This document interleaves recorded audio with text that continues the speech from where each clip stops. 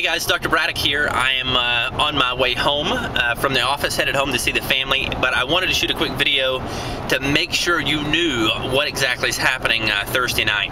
Uh, if you recall, last month we brought in uh, Chef Gail Blair uh, to do a healthy cooking class. That's a big thing. I think everyone knows we need to eat healthier, knows we need to cook healthier, but for a lot of people that's difficult, it's costly, it's confusing, and what we wanted to do is bring somebody in to show you that it doesn't have to be that way. That you can uh, you can cook healthy meals. Uh, that it can be as affordable as a non-healthy meal, uh, and that you can do it in a really simply way that that tastes good. Because if you're like me, taste is is way on up there.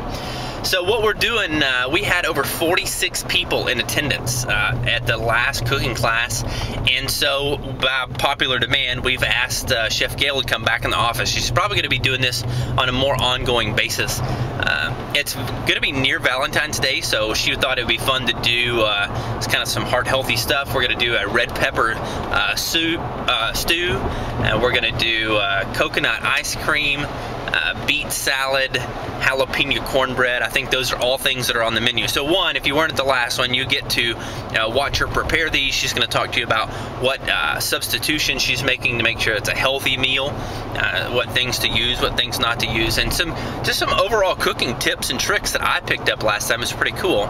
Uh, secondly, is you're going to get to taste everything. All right, so we're going to have enough food that everyone's going to get a taste, so you, you know what it is that you're cooking and how it's supposed to taste, and uh, and everyone seems to enjoy that too because free food's not a bad thing.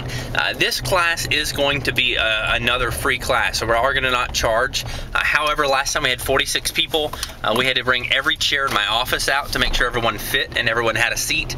Uh, I've bought new chairs, so we should have much more room and much more space, uh, but there is going to be a cap. There is going to be an area where we're going to have to say, that's as many people as we can, uh, as we're going to be able to effectively seat.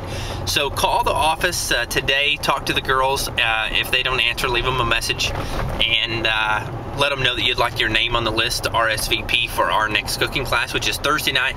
It starts at 6 and it'll probably go about an hour, hour and a half. Uh, it's adults only simply due to, to limited seating. Uh, but I think that you'll enjoy it. If you have any other questions, don't hesitate to give us a shout.